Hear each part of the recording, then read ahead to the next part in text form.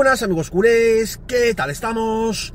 Con la victoria de ayer ante el Mallorca, el Barcelona ya tiene casi asegurada la plaza Champions para la próxima temporada.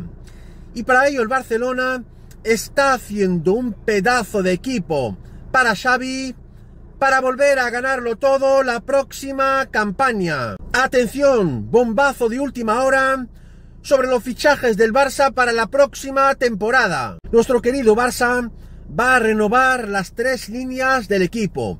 Defensa, centro del campo y delantera. En defensa, como sabemos, el central Christensen está prácticamente cerrado para la próxima temporada, pero ojo, no se descarta otra sorpresa como la de Mati Delict para seguir reforzando la defensa.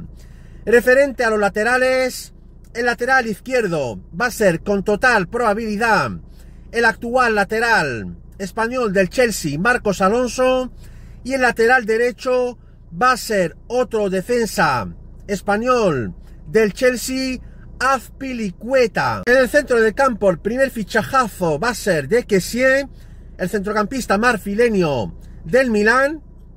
Pero ojo, con este bombazo en el centro del campo.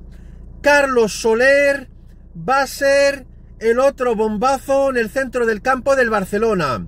El Barça va a vender a Frinky de Jong, como ya informé hace más de seis meses, y en su lugar va a fichar a Soler. Y por último, la delantera, y aquí vienen los verdaderos bombazos. Dembélé no va a renovar, está mareando nuestro querido Barcelona y el Barça ya tiene prácticamente fichado al delantero extremo brasileño Rafinha del Leeds.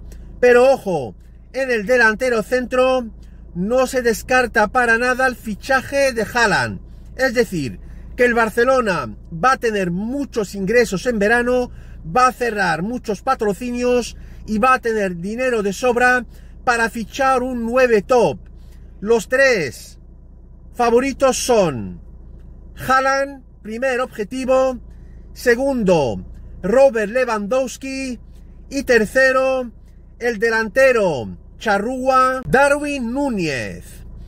Estaremos atentos a los acontecimientos.